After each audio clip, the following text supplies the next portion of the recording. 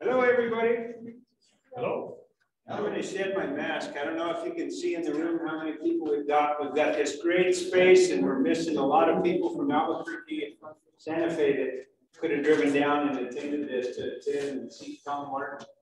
Uh, But to everybody here in the room, uh, thanks for joining us. We've got pizza and drinks in the back. Over here, we've got Hazel and Tom set up with all of his books.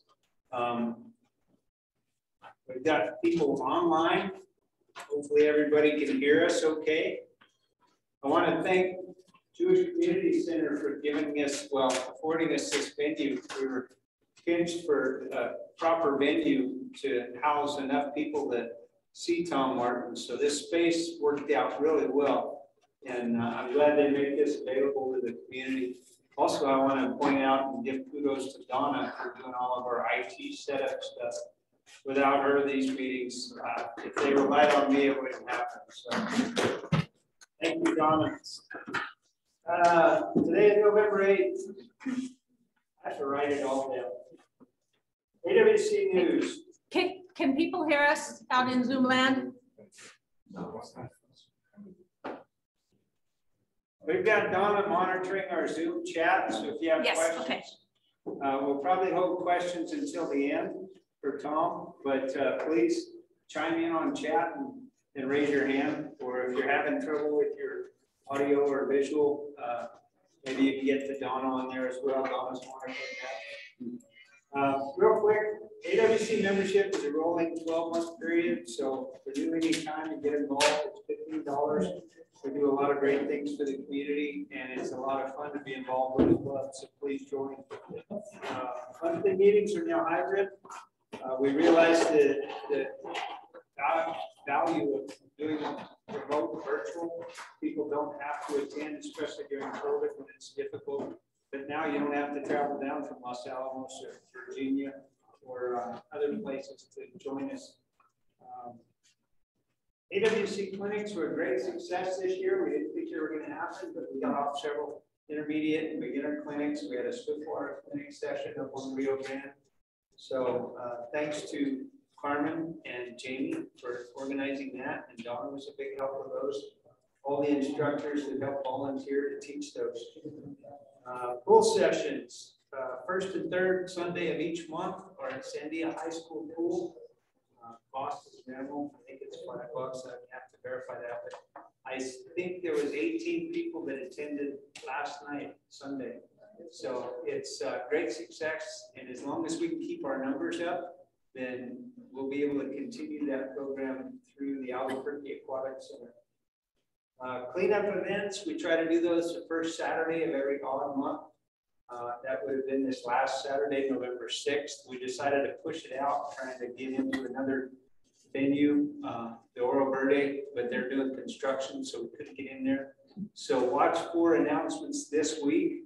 Uh, it will happen Saturday, the thirteenth, and it'll probably be at Poco Loco, uh, down at the Rio Bravo Bridge on the Rio Grande here in Albuquerque.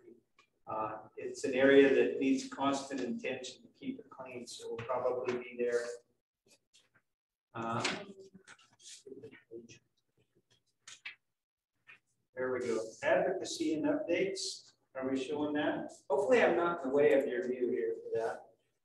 Uh, not a lot has happened with the stream access, uh, writ of mandamus that we have in front of the Supreme Court. They have not made any decision on that.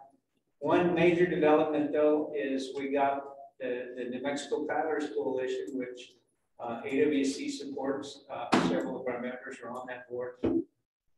Sherry Barrett was very instrumental in initiating a grant for the 550 bridge access area. Uh, we've done cleanups there in the past.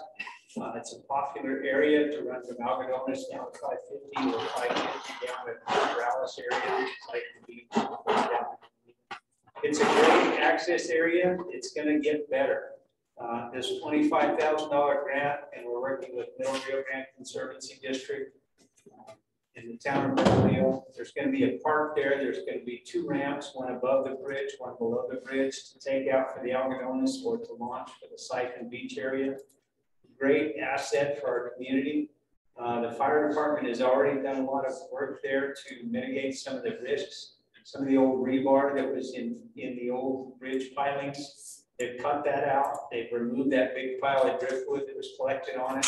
So it's, they made it a lot safer. Uh, eventually, the project starts construction in January and they have up to twenty-four months. It Probably won't take that long. But eventually, when they're done, it'll be a parking area uh, just on the northeast, north of the bridge, east of the river. Uh, There'll be a gate there. Uh, There'll be another gate down by the river. We've got to figure out how we're going to do trailer access for rafts. Uh, maybe a combination or a key that we can check out to the paddling community. Uh, That's a great uh, milestone and accomplishment to get that grant. Uh, You can find information about that five fifty project on the New Mexico Paddlers Coalition Facebook page. Uh, I encourage people to always log into the adobewhitewater.org. That's our website, and from there you can get, follow through the links to see what's happening with the club. So many other events that are, that are going around the community. That Adobe or uh, AWC chat is a, a kind of a private Facebook page.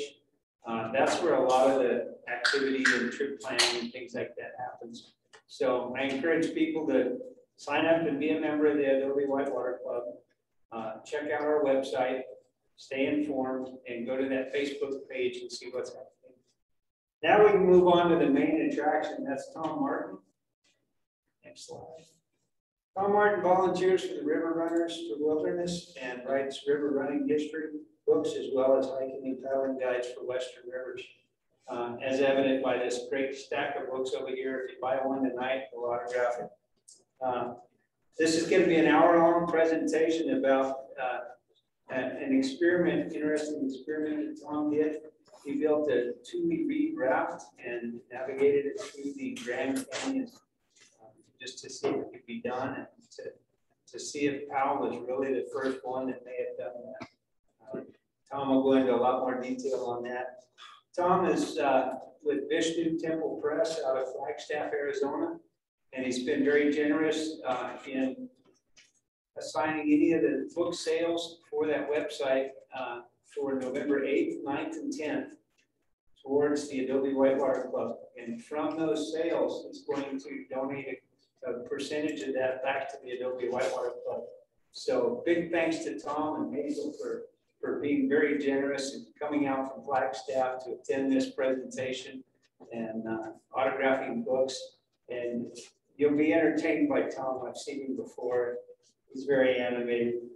So without further ado, I'll bring Tom up uh, for a trip through the Grand Canyon on a tule reed raft. Thank you, Tom. Thanks, Scott.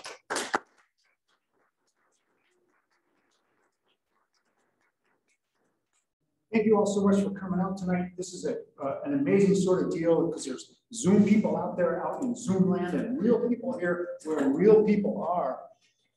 People in Zoom, when things like that happen, just put it in chat. I don't know what happened, but the whole thing just exploded. And you can let Donna know that's what's going on now in theory. Donna's working mad to get this, like, start this Zoom thing, which happens over there through two computers. Like, it goes out, you know, like this way and that. Like, look at it. Does this work? And, and she's trying to watch the chat as well, so the Zoom people can say, yeah, this is working okay or not. This presentation is gonna take about fifty minutes. So the people in Zoom land are lucky because they can like go make a cup of tea. You people that are sitting here, and you get, you can't, so, so it's what it is. And I'm gonna now click the clicker to see if something actually happens. Are you ready, Donna? I am. Cool. Let's see what happens. Uh, nothing. Uh, let me try again, just a minute. Let me go the other way. Uh, nothing. Uh, let me try again. Let me go back the other way. I'll do that first Oh. one. There you go. I did that one. Donna did that, I'm gonna go back. Yeah. This presentation is brought to you by, brought to you by Adobe Whitewater Club. And who is this club and what do they do? I went the wrong way. Ha. Okay. River protection. River access. Paddling clinics, cleanups, and river safety. My first question is, are you a member? Because if you are, that's awesome. If you are not in Zoom land, you need to be a member. And it's fifteen dollars a year. I mean, come on, you spend it on a of? So you want to be a member. It's very simple. The board of directors tonight of this organization, how many board of directors are here in this room? Show of hands. Hey, Donna, come here. Scott, come here. I don't know your name. Come here. Come on, get up. Come here.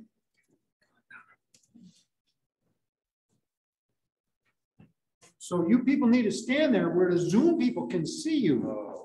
Right? Okay? That's. I came I came here personally to get a paper. Your paint out there. Real people doing real advocacy is a wonderful thing. So thank you so very much. You. They do all this wonderful stuff for fifteen bucks a year. Come on. You can do this. All right, I'm gonna push the button again. See, Donna, she's doing all this stuff. All right, Donna, move it. Want to try again? Yeah. All right, I'm going the wrong way though, so this is good, it's working. All right, so this is a fundraiser tonight, as Scott mentioned. Proceeds of the book sales here on site and in Zoom land for the next three days at Vishnu Temple Press. Proceeds are going to Adobe Whitewater Club. So what do we got there? Well, we got books, and we went way too fast. The river maps, there are four of them. There's a new, this is new. Canyonlands, second edition, Grand Canyon, eighth edition. There's also history books, Big Water Little Boats. They talk about that. The first Mackenzie River Dory to go through Grand Canyon. Otis Marston's giant thick tome of the first 100 river runners to go through Grand Canyon. There is a hiking book I wrote here. If you want to get lost in Grand Canyon, that's your book. And let's see, I'm trying again, the little button here. Can you just do let's see, it's not going down, so let's see what you can do on your end. Like with technology, mm-hmm. that's it. So Beverly Kurtz out of Boulder, Colorado, edited Why We Boat. It's a compendium of river stories by a bunch of great writers.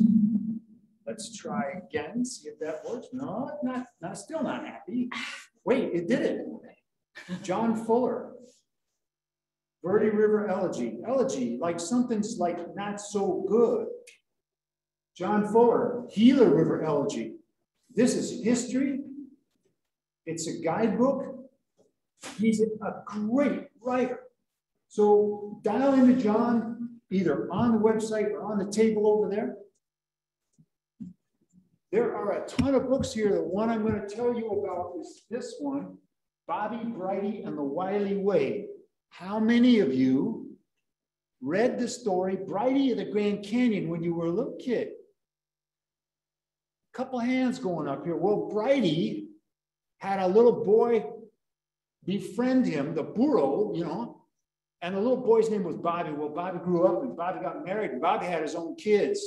And now his daughter, Martha, in her 70s, writes about her dad and the family history on the North Rim of Grand Canyon. It's a wonderful little book. This is a fundraiser for Adobe Whitewater, Club, and you're going to get sick of me saying that. So I might put the mic a little bit closer to you because they're having a hard time with Zoom land hearing you. Okay. So I'm going to get closer to the mic, Yeah. says Donna. All right, we'll do that. And we'll That see what happens. Tony? Tony, what do you got?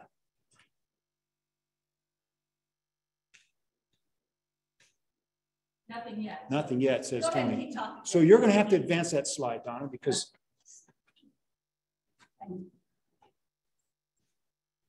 there it is. So tonight, here and on the web, 20 years ago, roughly, this book came out. Peaceful Canyon, Golden River. This book is about Glen Canyon before Glen Canyon Dam. So it is full of photographs of Glen Canyon before the dam. It's out of print, but we have a box of these books from the family, from the Gaskell family. We are selling these tonight, again, as a fundraiser, $14 a copy. And let's see if I try it again. No, I'm just, I'm, I'm desperately pushing this button. Donna's gonna have to come save me. It's his, It's whose? it's his, his clicker. Oh, well, I, it's, it's, it's my fault. It's not your clicker. Your clicker is fine. I'm sure it's my thumb. Okay, just, just a, a sample page here of what's in this book. That's tapestry wall here. Just some amazing pictures of this place before it went down. So I encourage you to look at that. Donna's gonna try a new battery while she advances the slide here. Okay, so these things are a real nuisance when you give presentations.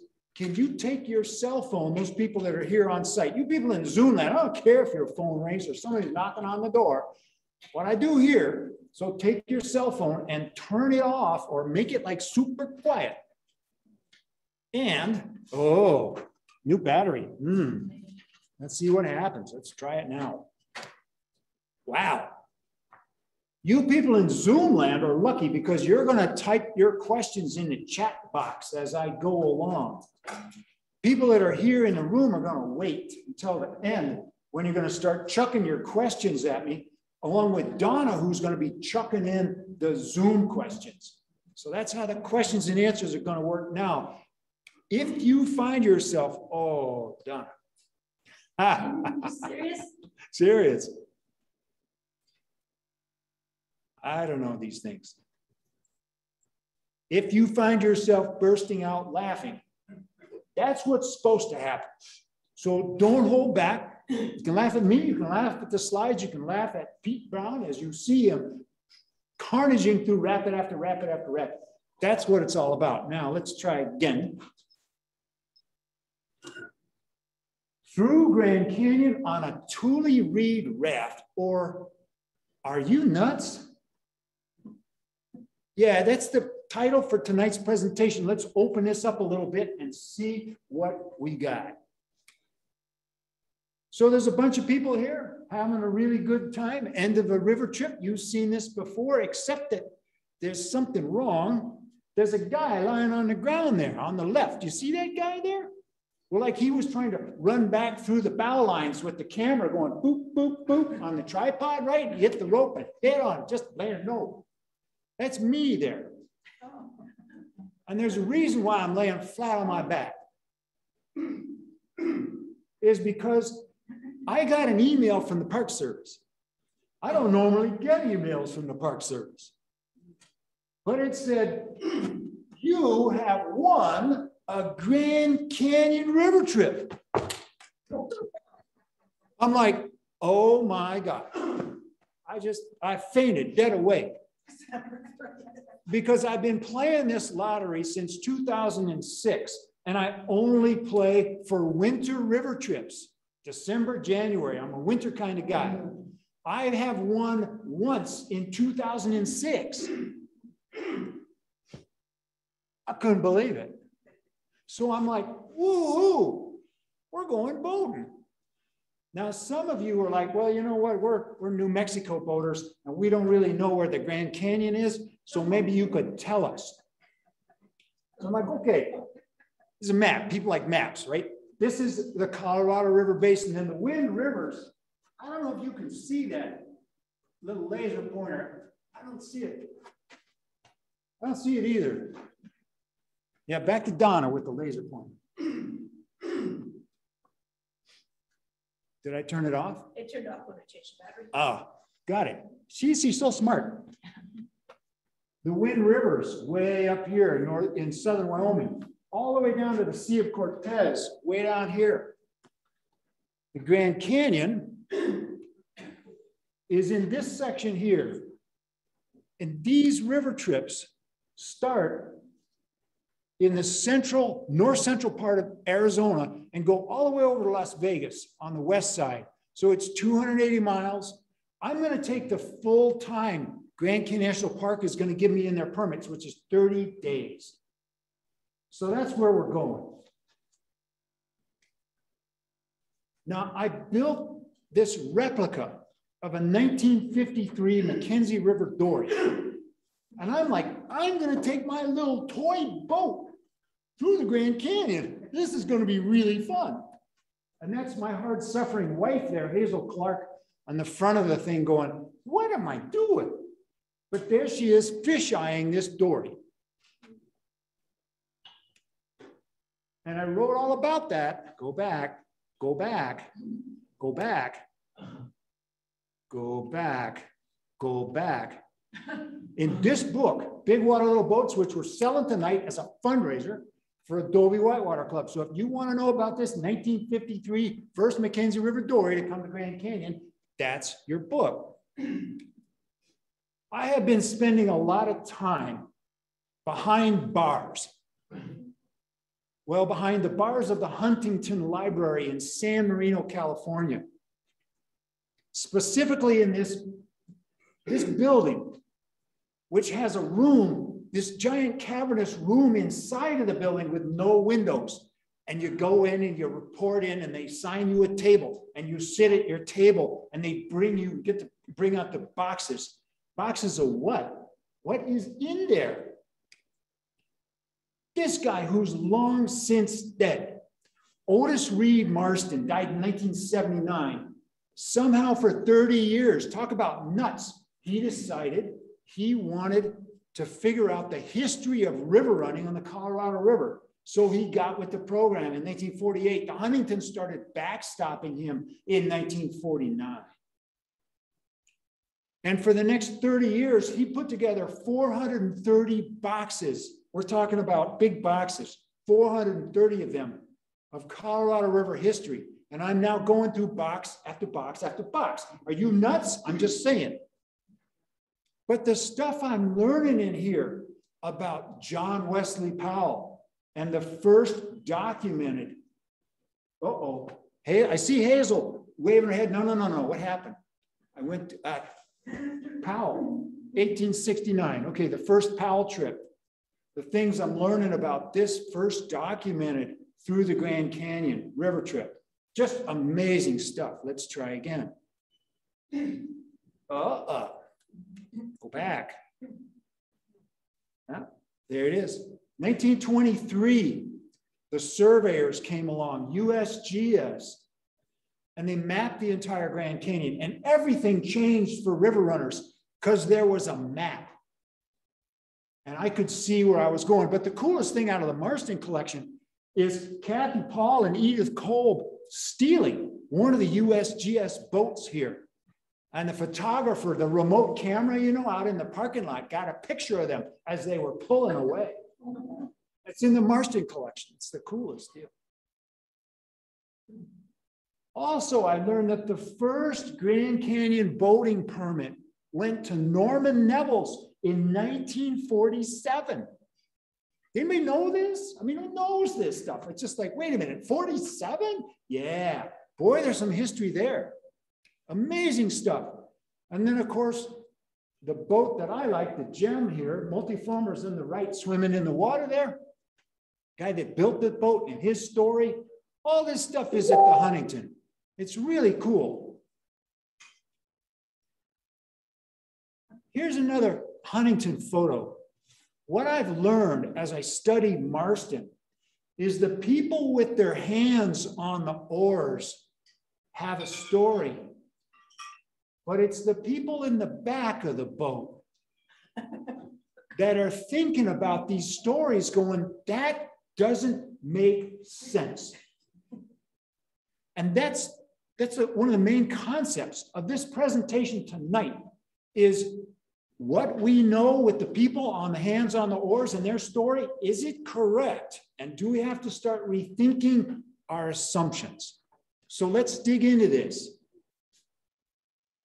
Most of us know that for at least 13,000 years, indigenous people have been in the Americas, north and south. From Tierra del Fuego all the way up to the Arctic Circle.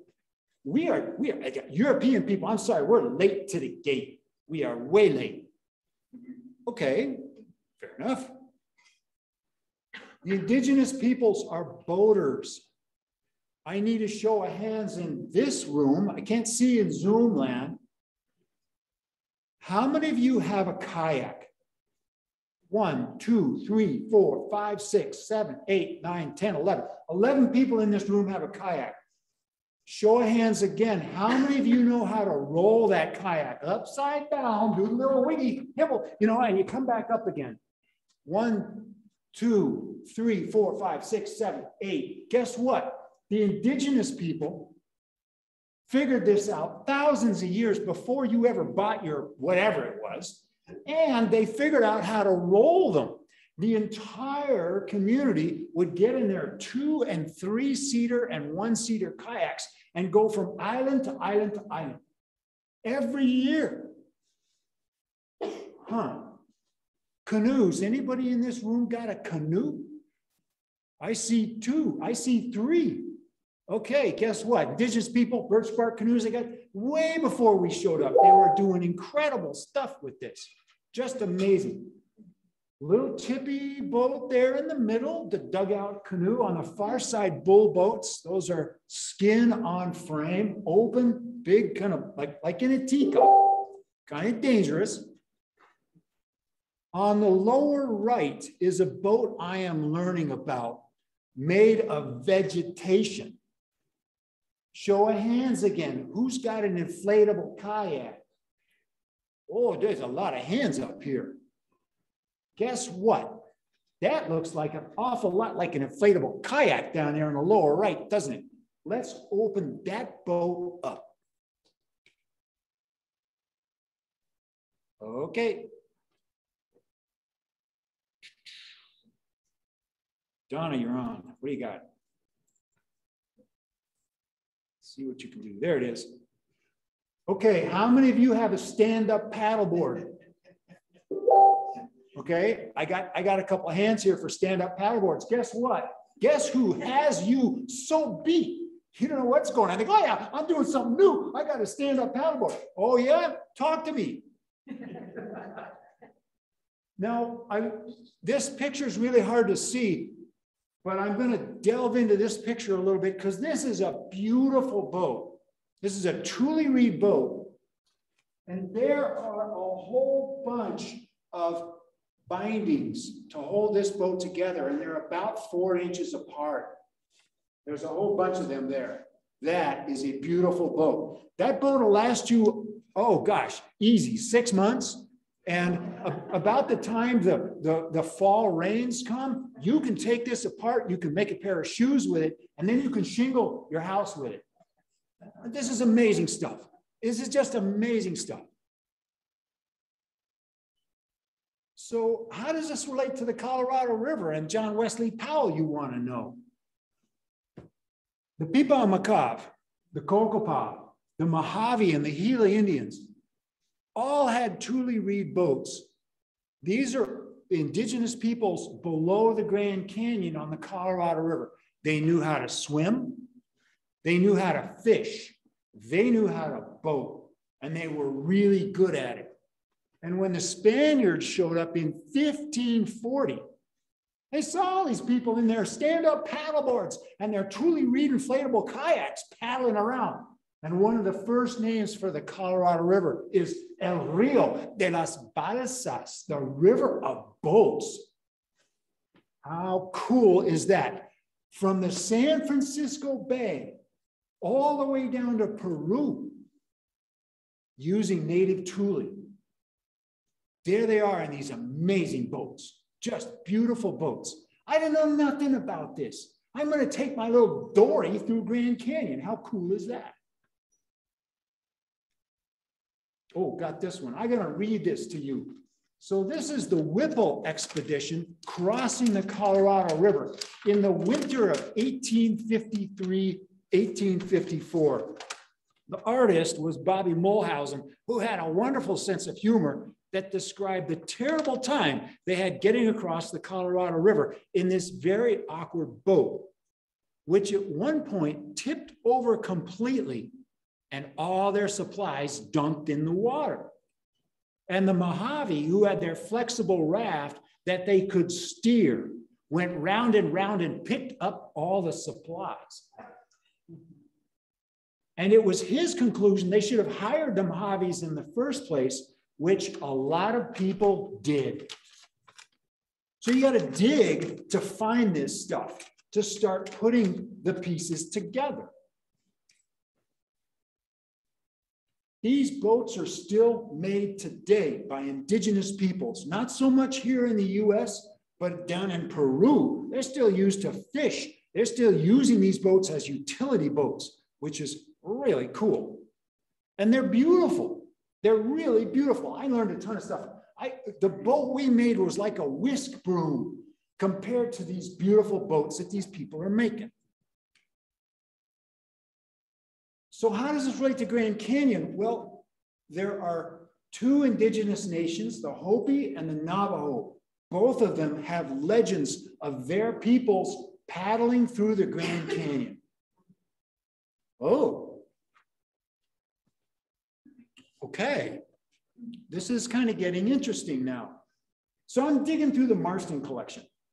This is Otis Marston on the right, and the guy on the left is a hiker out of Flagstaff, Arizona named Harvey Butchart. And these guys are great friends, and they send letters to each other like Scott Carpenter and I send text messages back and forth, and back and forth, and back. At one point, Marston on the right sends a letter to Harvey on the left and says, Hey, there's an old timer that lives in your town of Flagstaff, Arizona. And the old timer was in the Grand Canyon in the 1880s. And this is in 1958 that this letter's going back and forth. And Marston says to Harvey, take the guy a bottle of scotch and get him talking. And Harvey's like, yeah, sign me up. I'll do that. And he does it. And they have a great night. And Harvey sends the next letter back to Marston, and it says this.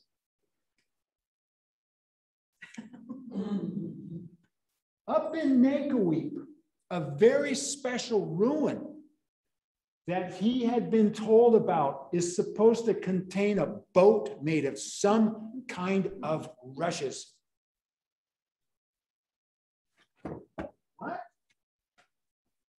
I've got a river trip coming up. The light bulb finally goes off. Hey.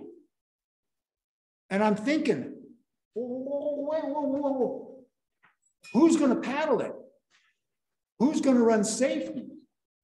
Can I get permission? How do I build it? Will it even float? Will it keep up with the rafts, you know, as they cruise along down the river? What's going to happen to the little boat?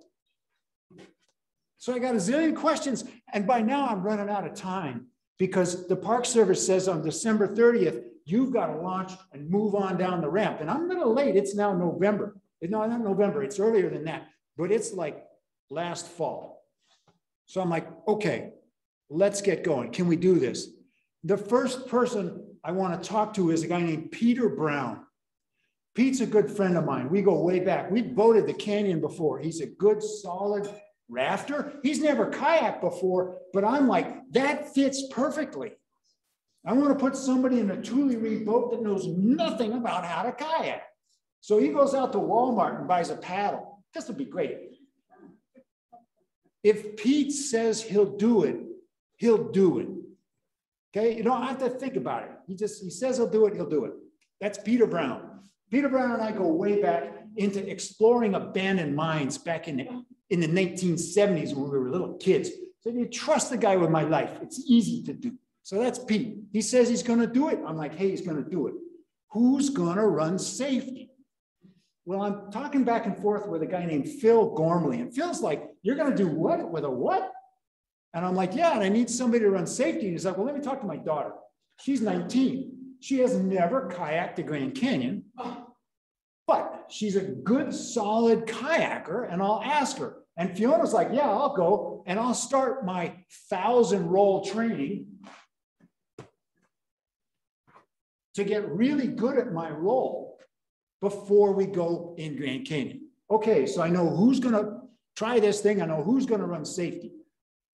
Now we, we work with Fiona to let Pete almost drown, make sure Pete stays with his boat and leave him alone. Okay, because this is a test. Fiona's like, oh yeah, yeah, whatever. So the next thing we need to do is we need to ask for permission. I know where some of this stuff grows. I've seen it before. And it's down near Blythe, California on the Colorado River. Tule, what we're going to use to make this boat is native in Grand Canyon. It grows in the Wind Rivers. It's throughout the entire Colorado River. It, it's in Glen Canyon. It's, it's, in, it's in the basin. So I call, I, I emailed the BLM. Tap, tap, tap, tap, tap. I said, hey, I want to harvest some tule. They're like, oh, you mean cattails, right? no, I want to harvest some tule. Oh, you mean Phragmites, right? The great reed. Tap, tap, tap, tap, tap. No, I want to harvest some tule. Let me get the Latin name for you. I can't pronounce it. They said, how much do you want? I said, how about a truckload? Because I don't know how much I want. And they said, okay, fine. You sound crazy. You sound like you're nuts. If you're successful, they'll let us know. I said, great. That's all I needed. Meanwhile, I got Pete, because Pete's good at this stuff. Pete, you start sending emails to the Park Service. Hey, I got this idea. I want to try to take this Tule Reed boat through the Grand Canyon. It's native to Grand Canyon National Park.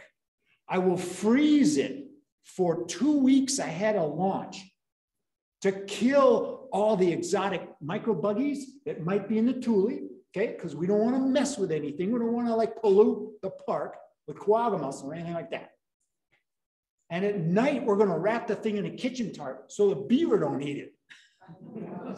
What do you think? And the park finally, oh, goes through all that email chain went forever. And finally, someone, you know, some office somewhere said, yeah, okay, so long as it's not your main boat, so long as you're not relying on it to carry your, your kitchen and your pooper and your pocket pads and all the junk you're going to bring along.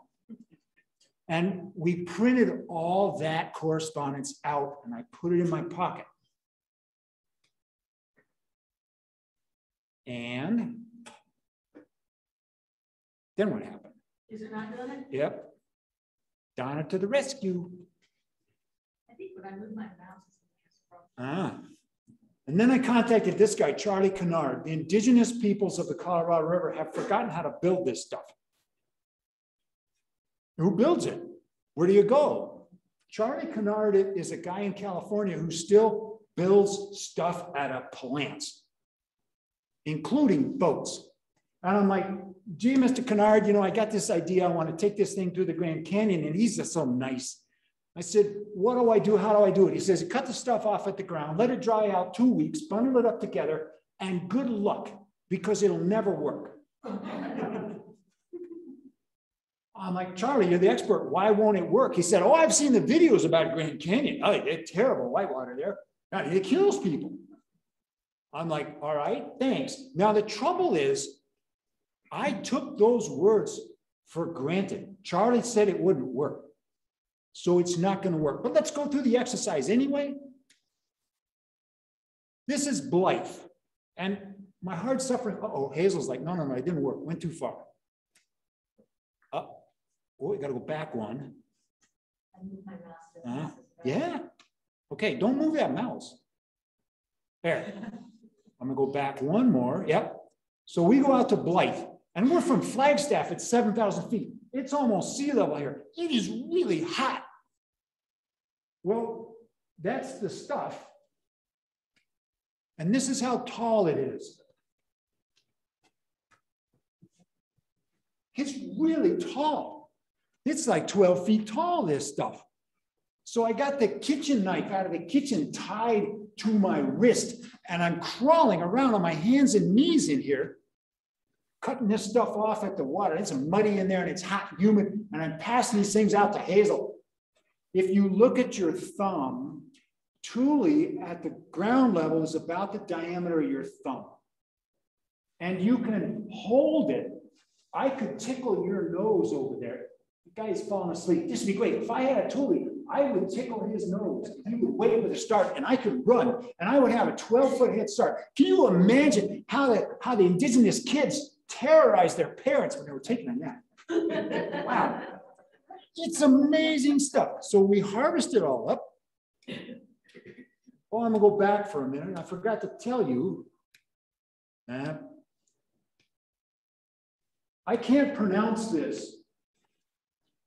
Aerenchyma, Aerenchyma, whatever it's called, tule takes air and pumps it down to its roots. That's what makes it buoyant. I didn't know that. It's got a Latin name. I can't pronounce that either. So we bundle it up. I'm handing the stuff out to Hazel. She's throwing it up on top of the truck. We drive back to Flagstaff. We throw it in the backyard. Now it's late. It's October now. Okay. And it's cold in Flagstaff, but we put it out on the back porch. And are you going to get the next one for me? Oh. Because I saw you move that mouse. Yep. Oh, back up. We dry it out. Yep. And we take these bundles and we start, take, take all the tooling and we start bundling it up together. Let's see how I can do. Yep. Stacy Davenport's going to be with us on our river trip. I'm going to introduce all these people to you. Stacy comes up from Prescott and says, I want to help build this thing. We're like, great, come on up. So there's the little dory that I'm going to row on the right. And this is what Stacy and Hazel and I are doing. Remember this distance about four inches between these bundles or, or as you wrap it. So we're, we're trying to match that, but I'm a little worried. So we're adding a couple extra wraps. And I'm thinking, what am I going to call this thing? And I realized, boy, there's a lots of knots holding this thing together. So we're going to call it lots of knots. or if I'm a little fast and loose with language, lots of nuts. Okay? Because you people are crazy. But it's a beautiful little boat. Now, I had asked Charlie, Charlie, how do you make a bow in this thing? And he'd said, just wrap it up really tight, bend it up and just wrap it up really tight. We did that and it fell flat. And what Charlie didn't tell me is that if you find a curved piece of wood and you put that in the middle bundle and you tie that together, it'll stay up. He told me that after we got back at the end of the trip. I'm like, Charlie, I, but this is a whisk broom. The cool thing about Tule is it smells good. It's got this great, I've just, oh my gosh, it smells really great. So finally, we get the thing out of the garage. There it is. There's Hazel. We're thinking, bet it doesn't float. We'll find out. So it's December 29th. It's like snowing in Flagstaff. You throw the thing on the back of the trailer, you drive up to the put in, and the first thing you do is like take off all your jackets because it's really nice. Don't tell anybody how nice it is. All right, we're not done building the boat. Charlie had said that the indigenous people would put a dowel, would put a dowel, a couple of them, drive them right through the bundles to add strength. And they would use willow trunks. Okay, well, we had a Home Depot and I got some dowels from Home Depot and a hammer and pop, pop, pop, pop, pop, just drove a couple of dowels through. Okay, fine. Just because Charlie said, right? Charlie said it wouldn't work. It's not going to work, but let's see what happens.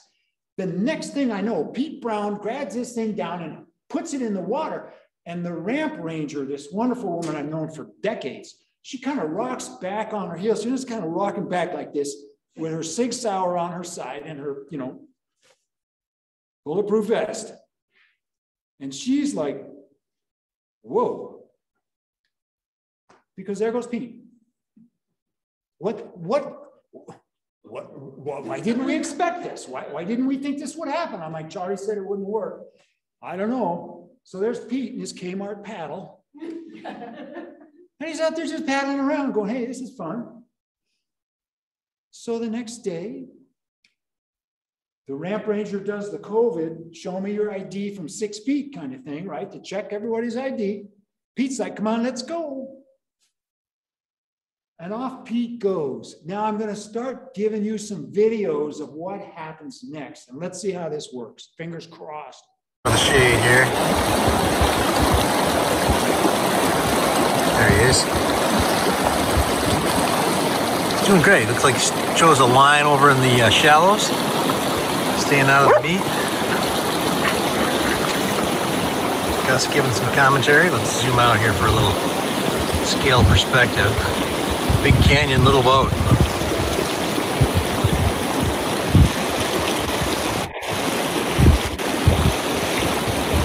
Doing great. He looks pretty stable. He's got his feet up. Good strokes.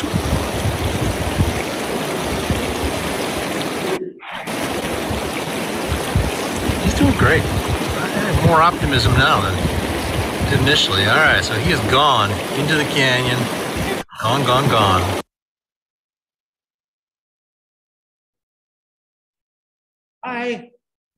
So that's John Fuller. Now it's really good because what John didn't see was happening right around the corner. John didn't see that. Uh, let's see. Did you move that mouse? No, maybe not. So this is what happened around the corner. That's Pete swimming next to lots and lots. John's like, he's doing great. See you later. Have a good trip. So we were like, oh, first rapid, Pete didn't do so well. And he didn't even turn on his GoPro because it's just the first time a little riffle, right? Well, the next thing I know, okay, you got to help me, Donna. There it is. It's just slow. Ah, all right. Nope. And then I pushed it too far. All right, we're, we're cruising along with this. Let's see, unless it goes back. Yep, it's going to get a little fussy now. Back to the title slide. It's just slow. Okay. So the next thing I know, Pete is right back in the saddle paddling again like nothing happened. And if I hadn't seen him go over in the pre riffle, I'd have never known it. So we head on, and this is New Year's Eve, and he first big rapid is Badger. So let's see what happens there.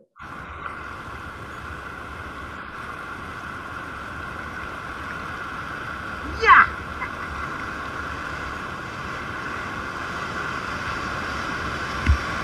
He's happy.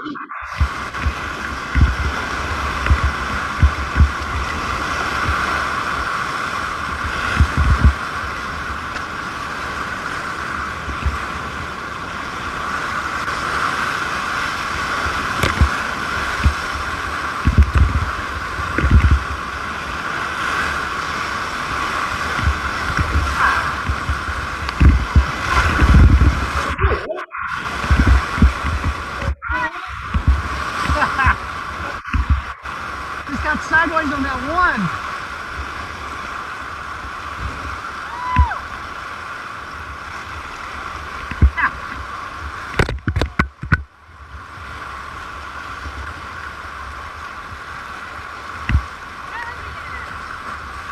Wasn't bad at all.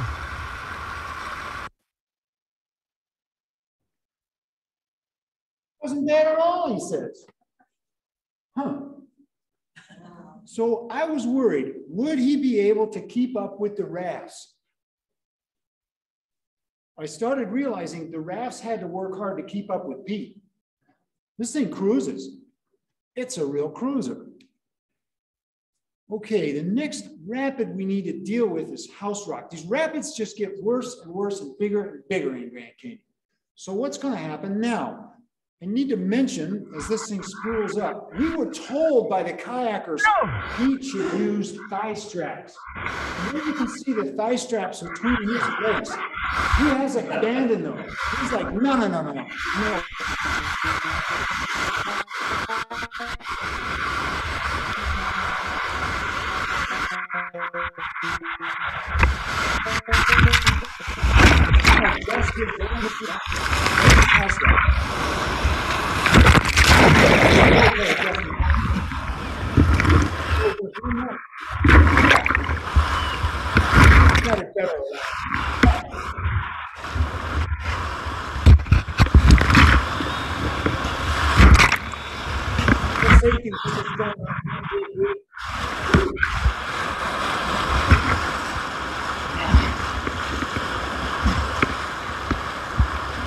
Thing gonna do is Is my GoPro still? And then he's gonna tell everybody with his hand on his head, yeah, I'm okay. Leave me alone. It's Back in the thing.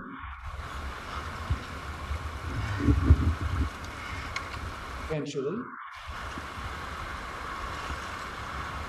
Again, think, put your, this is two thousand years ago. The river is warm. There's no dam. Okay, I got all the time in the world. This is my life jacket. My raft is my life jacket. Ah, I'm just gonna stay with my I'm raft. fine. I know how to fish. I know how to swim. Fiona's like, dude, you okay? He's like, yeah, I'm fine. And then what happens? Let's see. So on New Year's Day, we made some changes. Pete wants a backrest. He's an old man like me. So I find this piece of driftwood and we, we tie it on here with a bunch of straps and we're gonna put his backrest right on that thing. Now in the rapids, he's gonna slide forward and put his feet around this thing. Otherwise, he's just gonna sit up there on his little throne and paddle along. Did it do it? It did it. All right, we gotta wait. We gotta be patient. So he's paddling along. Everything's just fine. Here we go. Day after day after day. And he's like, I got it. This is gonna work. And I'm like, well, wait a minute. You know, that guy Charlie? Uh-oh. Did he go back? It went to, I think forward. Did you want the film? Yeah, I want that film. Sorry.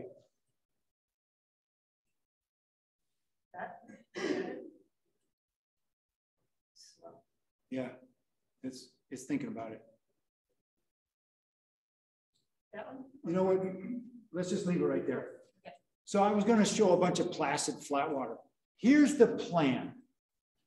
By this time, lots and knots is supposed to be on the back of a raft. Right? You've seen kayaks on the backs of rafts. That was the plan. The plan is not happening. Pete Brown is still paddling this thing very happily, and he's telling me, I'm gonna make it. It's gonna make it. It's gonna do it. And I'm like, no, no, no, no, no. It's supposed to be on the back of the raft. You're supposed to be rowing Hazel's raft. She's getting in the gym with me. That was the plan, Pete. Hazel's like, yeah, I'll keep rowing because Pete's still paddling. So we just kept going. So this is a little Nankoweap. We did a layover here. And let's see what happens. I'm going to introduce the people on the trip one by one by one as we go along. Conan Bliss, if you can get a chance to boat with Conan, get him on your trip. The guy has, he's an Everest guide, you know, so like he's been taking people up to the top of Everest, he's summited a couple times. Just a great guy. Who else is on that trip? Let's see. These guys, father and son, the Thrill Kill team. Craig and his dad, Steven. Having family on a trip brings really cool dynamics to your trip that is really precious. I, I, just, I just think that's really cool. So Pete's going out for a hike at Little Nankoweap. Every day we would take the boat out, stand it up on end, let it drain out, sit in the sun. It is um, early January, and this is Grand Canyon, and you shouldn't see this guy in his shorts. No, it's cold. You don't want to go in the middle of January. It's why I can't get a permit in the middle of January. Some people have figured this out. On downstream, basalt, we did a layover, did more drying. I did some work here to fix this thing. I'm in there just checking the knots, tying things together. What you can see is all these bundles that we had now have segregated out into kind of main bundles. Oh, that's interesting. I'm fiddling with the thing and, and I hear this, and I turn around and there's a kayaker sitting in the eddy there. He's Tyler Williams from Flagstaff. He's like, what are you doing? I'm like, Tyler, I haven't a clue what I'm doing, but it's working. so then there's a rapid called Hance. And Hance is one of the biggest rapids we have. Pete didn't get his GoPro going. He was trying really hard. But these are the pictures from the high scout watching Pete from the top.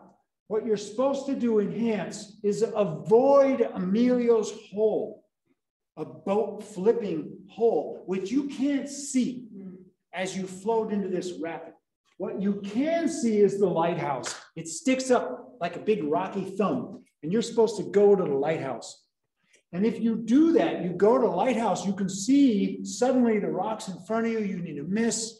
You miss those rocks, you make your run, and you clear Emilio's hole. It sounds simple, right?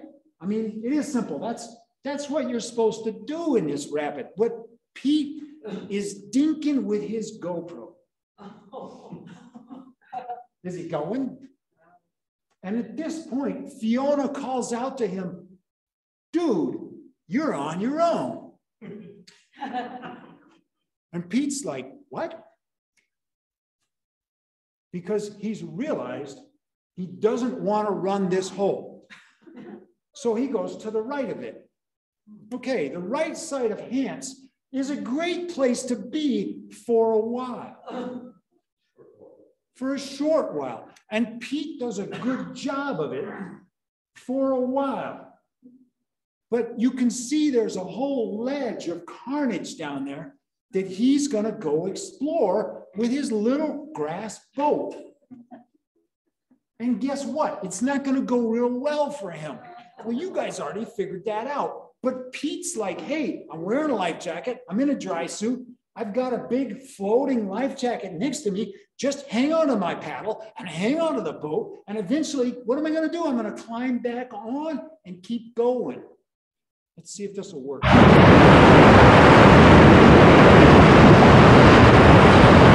Yeah, get the throw bag out if you need to.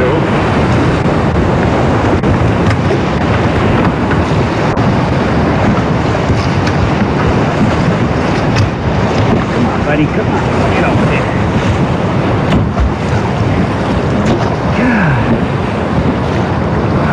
Oh, he's getting back in. All right, well, I'm ready. He's got it, he's on it. He's just holding on.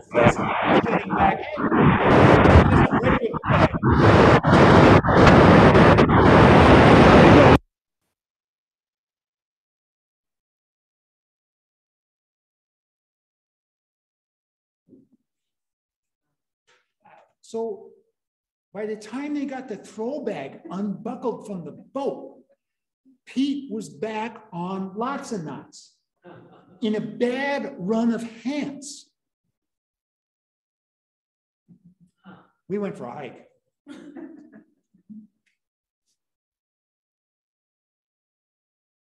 Uh, let's see.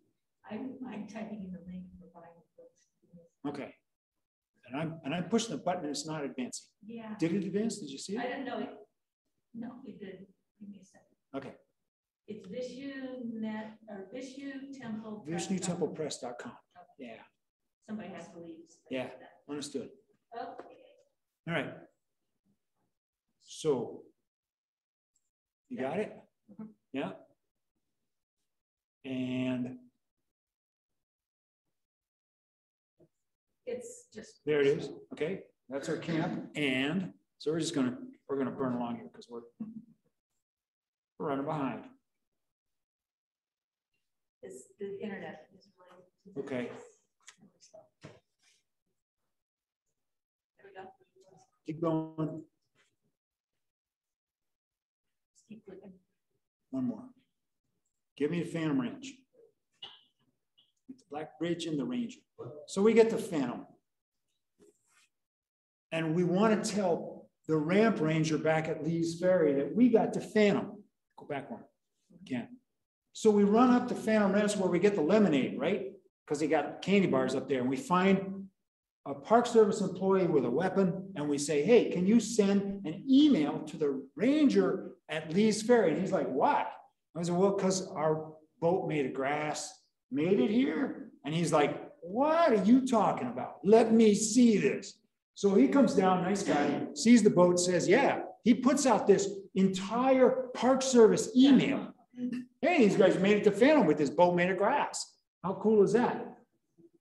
I'm kind of shell shocked at this time. Not only did Kennard say it, it shouldn't happen. Did it do it? But I'm looking here past the photographer that took this picture at what's called the Bright Angel Pueblo. And at this point, I'm wondering what kind of lemonade did they have for the river runners a thousand years ago? That's what I'm thinking. What do you got for me? Let's go to Horn Creek. Horn Creek is a, the next pretty big rapid, pretty big, it's a big rapid, just down below Phantom. What do you think happens to Pete in Horn Creek? Okay, it's coming. Be patient.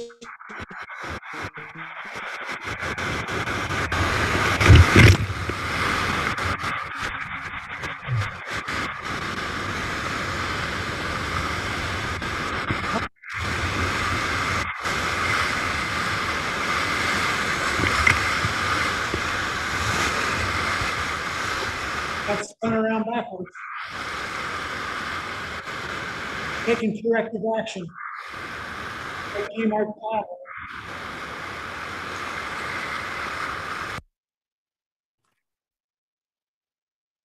Wow. He aced it. That's a good run. Donna, should I try this or are you doing it? What do we got? I Granite, that, yeah. granite. He's gonna make granite. Do you wanna watch it? Yeah. Okay, let's go. Poor people in Zoom, you've been outvoted. Yeah. Yeah, Pete's like, what? He made his line.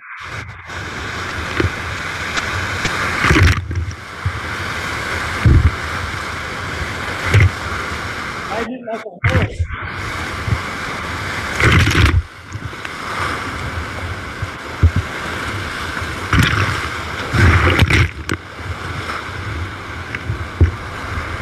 Horses whipped him off.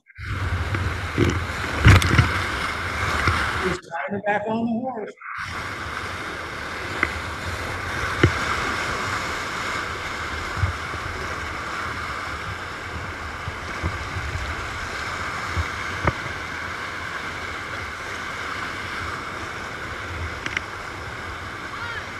What?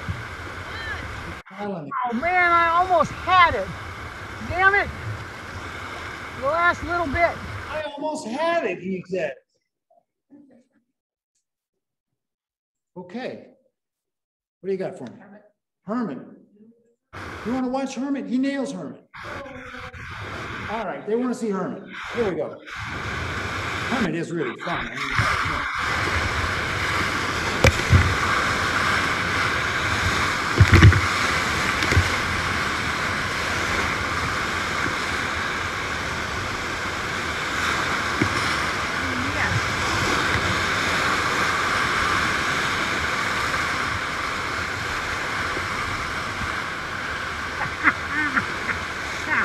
Ah, ah.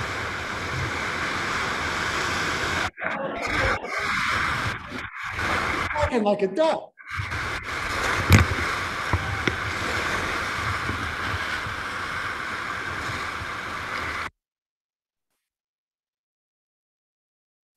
Next slide. So that's, I mean, it's just, he's just starting to knock him out now. He's learned. And the boat doesn't stand up and get hit by the waves. It is submarining through stuff. And he's the one who's getting hit, not the boat. And it's just floating along. What do you got? We're gonna just flip through some of these now. There's Pete at Bass Camp, like blown dry hair. Stacy Davenport helped build the boat. David Art. You want a boat with these people. They're great people.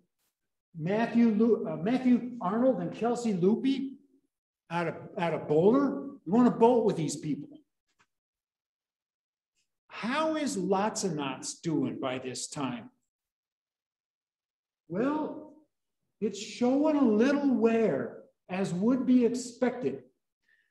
The outer tule is starting to bend a little bit. Okay, understood, but so far so good.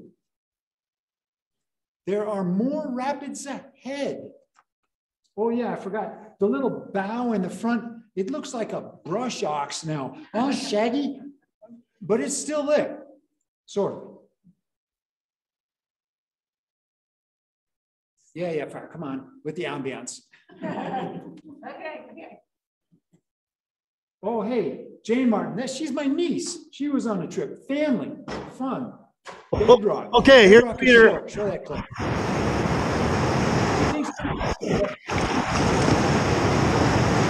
Move right along the shore. Yeah. On your hand. Still was asleep.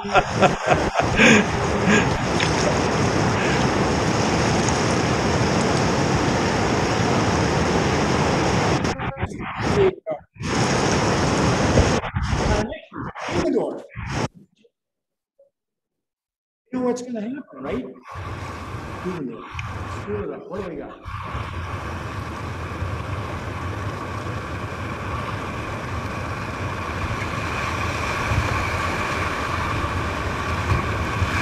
When you make that right move, right? Ask the volleyball, right? He realizes he hasn't made.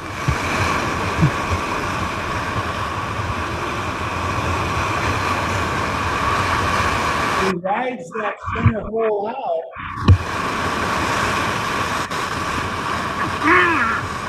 Yes.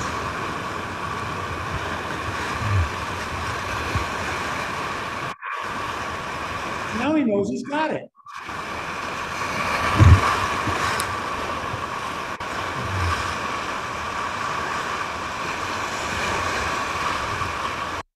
Just try out the tail with it. Upset. Upset is a shore run, near shore, just watch him go right on by. But what, there's a big rapid coming up. What's it called? La, La, Lava, oh yeah, I should mention Hazel Clark, who was supposed to be with me and the gem, and Pete was supposed to be here with lots of knots draped over the gear pile in the back, didn't happen. You don't want to see lava, of course, nobody wants to see that, right? All right, run from. This is the classic bubble line. On the right.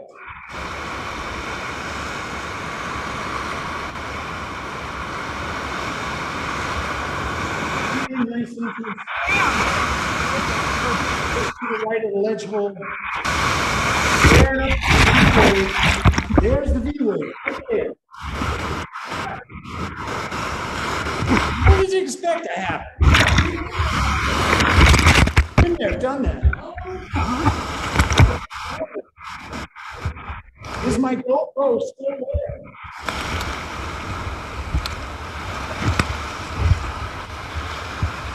Ah! Shoot. Whatever it is, He's mad, he's mad.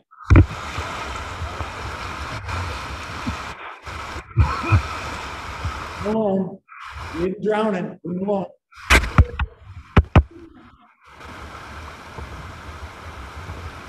Right. And off he goes. So from down below, let's see if this is gonna work. Oh, Oops, can we go back? can you go back one? Mm-hmm. From down below with the long lens, Conan Bliss is here in his kayak. There's Pete in lots of knots, and there's Fiona in her kayak. So we're just safety. I mean, we're just thinking about this. If Pete is alive, leave him alone. If the boat goes one way, one of you follow the boat, the other one follow Pete. All right, that's the plan. And what happens? Well, he gets knocked out, but he hangs onto his paddle and he hangs onto his boat. And there he is. And he runs lower lava, right, along the right-hand shore, just boop de boop de boop. Down to uh, what we call Truffle Beach. Some people used to call it Tequila Beach, but then two people died drinking too much. So it's Truffle Beach. Everybody gets a truffle. They're just like doop de doop de doo doop de doop de doo. And off we go.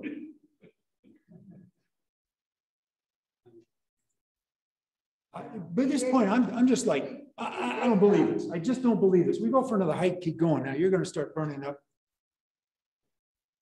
It's just, Callie Spitzen, David Grego, just amazing people. You want to boat with these people? Lots and lots at this point is showing some troubles. This is where Pete's feet are sitting. He's dug with his boots through the first layer of Tule, just the first layer. Hey, that's Mark Appleman. Mark Appleman, raise your hand. Mark Appleman's over there in the corner. He was on this trip. You don't believe me? Go talk to him. What do we got? Next slide. There's Mark. Yeah. You want to boat with that guy? He rode his own boat. It's a good guy. We got down to separation and we took a little group photo here. There's Pete on the left, Stacy Davenport, Fiona, and Hazel. Now, in this area of the canyon, it's not what it used to be. Hoover Dam has changed this section. There were some hard rapids in here. What would have happened if we had to run those rapids, which would have happened a thousand or two thousand or five thousand years ago? By this point, Pete's well dialed into his boat. He's got it. His chances of success with or without rapids is basically assured. Off we go. We got a group photo coming up. Yeah, it snows, it rains. Yeah, we got to do all that winter stuff. It's not all shorts.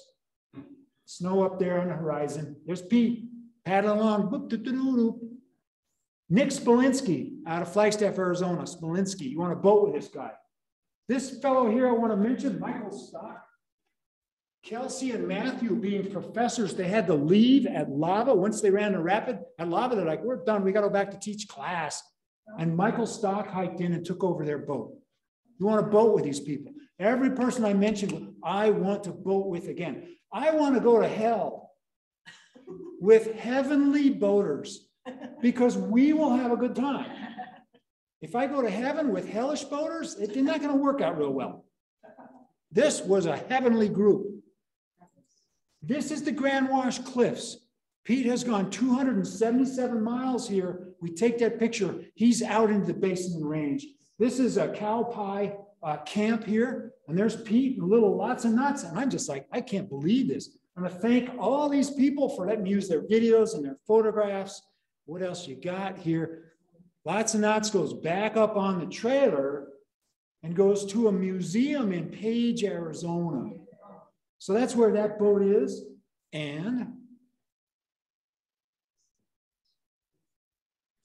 here's the real takeaway. We, yes, we were the first to document a Tule Reed watercraft going through Grand Canyon, but we're not the first to do it.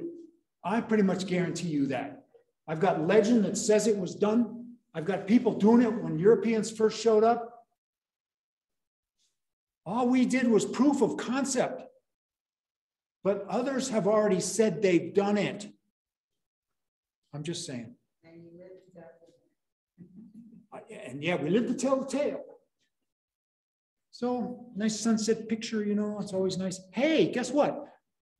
This is a fundraiser for the Adobe Whitewater Club. You need to be a member of this organization. If you're not, it's only 15 bucks a year. You people in Zoom land, do it online, pay with PayPal. It's really easy.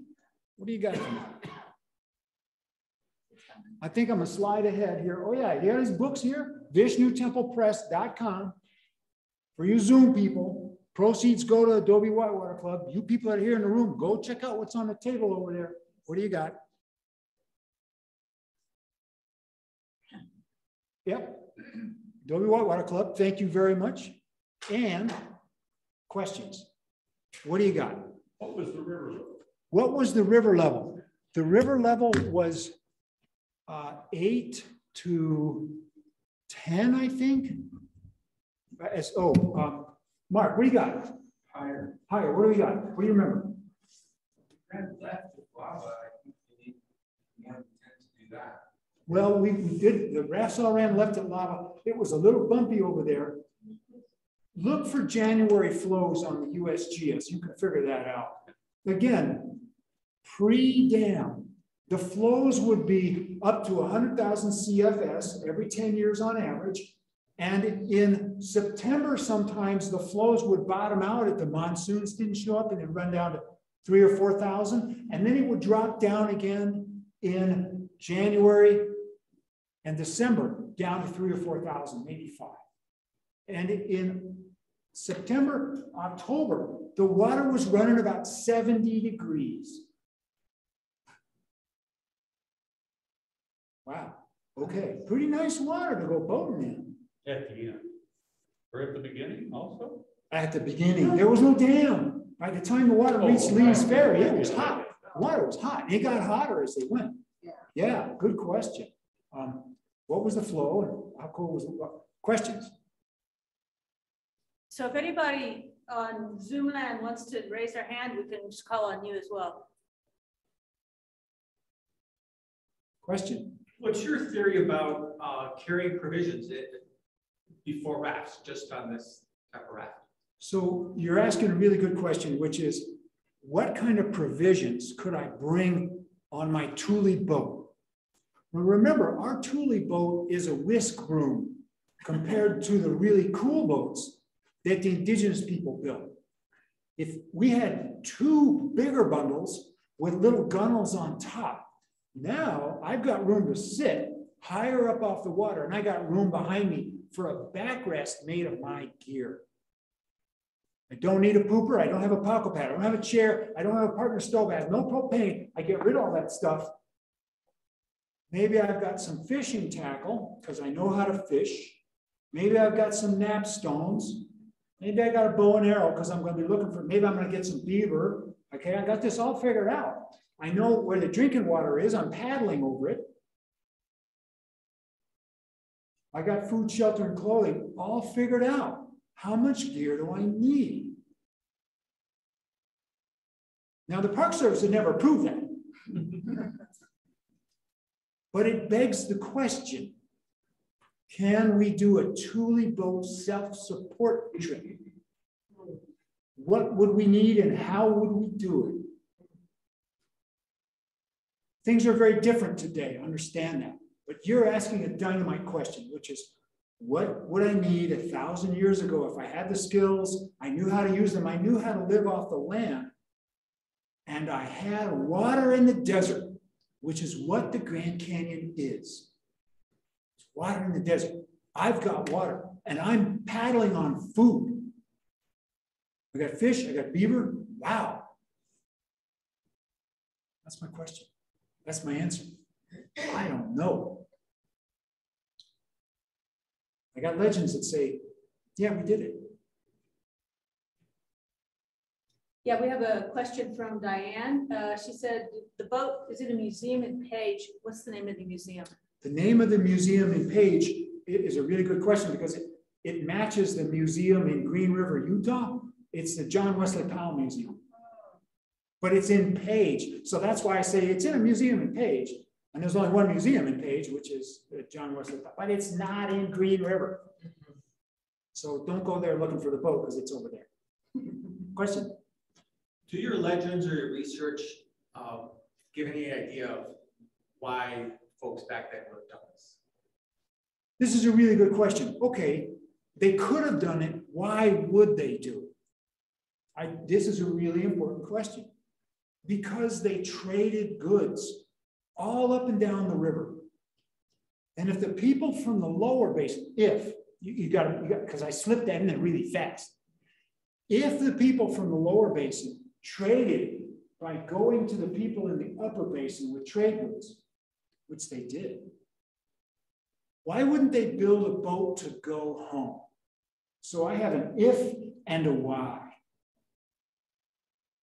Okay, so if I have the skills and I find myself in Glen Canyon, standing in a in a in a forest of Tule, and I'm like, hmm, I've been following this river for a couple weeks, maybe a month, maybe three months. I followed this river, or I was up on the highlands and I got back down to the river. That's my home river.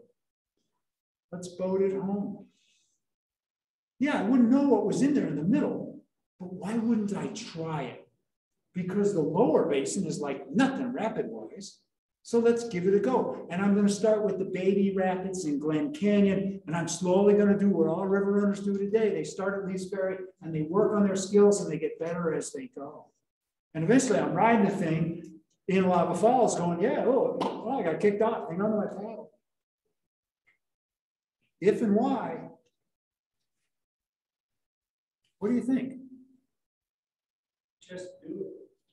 If, if they were carrying trade goods, they might well have done what Powell did, of the stuff. Well, this is an interesting question now. If I'm gonna go to trade somewhere, I'm gonna end up with a bunch of stuff I wanna take home. Yeah. Right? I'm gonna put that in the back of the boat. And I'm gonna protect that. Who invented scouting rapids? Okay, uh, this isn't like rocket science here. I got some stuff I want to protect. I hear a funky sound I don't recognize. I'm going to shore and I'm walking down a ways. And there was a lot of sand back then, and walking along the river corridor was way easier than it is today. Yeah. So we have a question from John Karen. What native group has the boat legend? The Hopi and the Navajo. Yeah, did you get that, John? You can unmute yourself if you wish, John. Yeah, sure, thanks. Did you get that answer, John? Yes, but is the Hopi legend the one about the log or is it different? The Hopi legend is the log. This is the story of Tio. But my question is who translated the word and what happens over time with the story? And if I'm not a boater because I've lost that, how do I translate that word? What do I mean? Now, maybe it was a hollowed out log that he sealed up. But what's a skirt after all? It's something I seal up, isn't it? I don't know. You're asking questions that are above my pay grade because this is not my culture and I, I just don't understand. All I can do is point to the legends and say, there they are. How cool is that? Question. Do you have any indication what the paddle selection looked like at the Kmart's a thousand years ago? That's a great question. What was the paddle selection like a thousand years ago? There were kayaks a thousand years ago. There were birch bark canoes a thousand years ago. These people knew how to build paddles. This, this, this drawing from the 1800s shows a double bladed paddle. The Kujak, they were using double bladed paddles. We call them kayaks today. That's what kind of Walmart they had a thousand years ago was a cruddy little double bladed thing, just like Pete was using.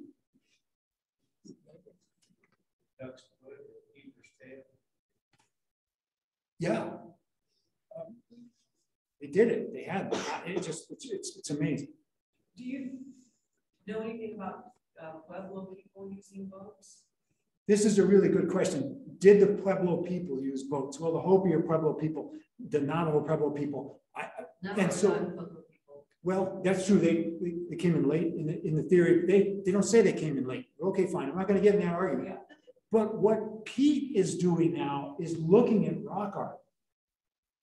And he's starting to find some crazy looking rock art. And I should have put those slides in here. I'll do that next time. Which is, wow, that looks kind of like a boat. That's an answer we don't know. Um, it, it just, we can find the stuff that's protected with overhangs, right? Because the Southwest is an open air museum. But Tule gets repurposed. The boats end up, if they float away during a high water flood for any reason, they're down in the silt, they disintegrate quickly. That record is hard to track. So that's the best I got. We got proof of concept. We gotta look elsewhere now. And put the street cred where the street cred really is, is with the indigenous peoples. Now that you've done this, what other concepts or ideas have sparked in your mind is the next thing to do in this area? I'm hoping, this is a really good question. What's next after this? I'm hoping that some indigenous people decide to do this on their own. And let's see what they learn. And let's see what they do. Right? Um, let's get out of the way. Let's let somebody else do it. Let's see what they come up with. Do we need all those knots? But we use 16th inch, I should have mentioned 16th inch nylon. What if we actually used braided tule or braided agave or, or a grapevine? Okay, strong, flexible, right? But you're gonna braid something, takes a while to do. And are you gonna make a zillion of them just because you got a whole spool of rope? No, you're gonna be a little more judicious. Yeah, and you're gonna make a homemade paddle. So we're getting out of the way. And let's see what happens now. Did I answer that question? For you personally, Well, I'm gonna, I'm gonna go back into the history mines and I'm gonna write more about the history of river running as Marston found. it.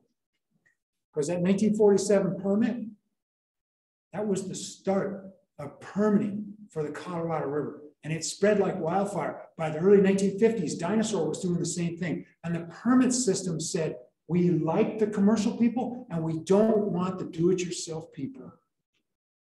The director of the Park Service said that.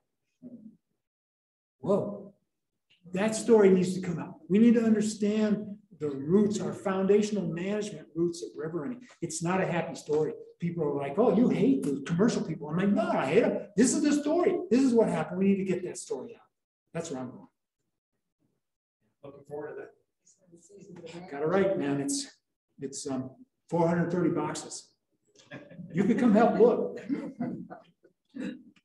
Well, with that, maybe we should wrap this up. What do you think? Thank you. Thank you so much. I just wanted to say, I thought your idea was not only brilliant, but talking somebody else into paddling the thing. Thank you so much for coming out tonight.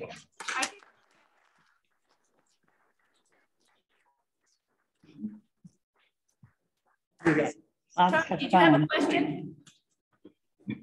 No, Oh, okay. I was just clapping. Thank you. Cool. I'll go ahead and close this out. Uh, just real quick, I want to remind everybody to go to Vishnu Temple Press. Uh, check out their website, check out the great selection of books that Tom's written. Um, Again, if you order before eighth, 9th, tenth, November tenth, it counts towards our credit for the Adobe Whitewater Club. Uh, Thanks to Tom and Hazel for showing up tonight, driving all the way out from Flagstaff just to make our meeting and bringing their great books and great stories. And I hope you've enjoyed our show tonight. Tom's a great entertainer and, thanks again for Tom for coming out.